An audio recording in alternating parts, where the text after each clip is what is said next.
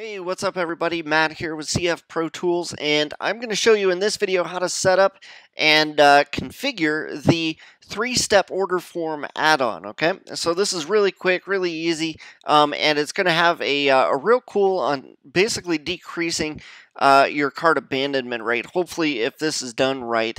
And uh, it looks cool too as well. Here you can see it's kind of got a, a real clean order form process, and I'm going to walk you through that, how this works, I think that you guys are really going to enjoy this. So um, the, basically what happens is you're taking the uh, order form process, breaking it into three pieces. That way there's a little bit more commitment and consistency coming from the customer as they're going through the process of putting it in order. So there's step one, real small commitment. What's your name? You go John, email, john at gmail.com, and then they click on next step. It goes here bam, put in, looks like there's some information already there. And then they fill that in. That's the next step of that commitment. Um, and then they're going to click on next step again. And it's going to open up the third segment here where they can add more stuff.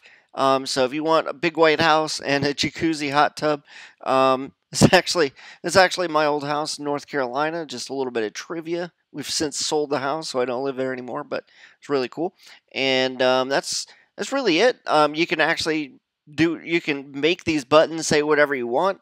This should say order uh, or submit order or something. Probably not next step, but uh, that would be a, a, real simple, easy verbiage to put in there, and people are gonna be like, "Yeah, I want to go to the next step," and then it puts the order in.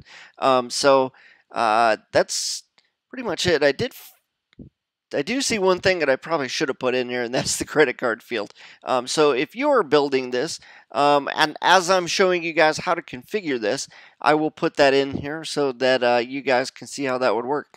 So that's how it would work, and I will see you guys in another video real quick and show you guys exactly how to set this up properly. Okay?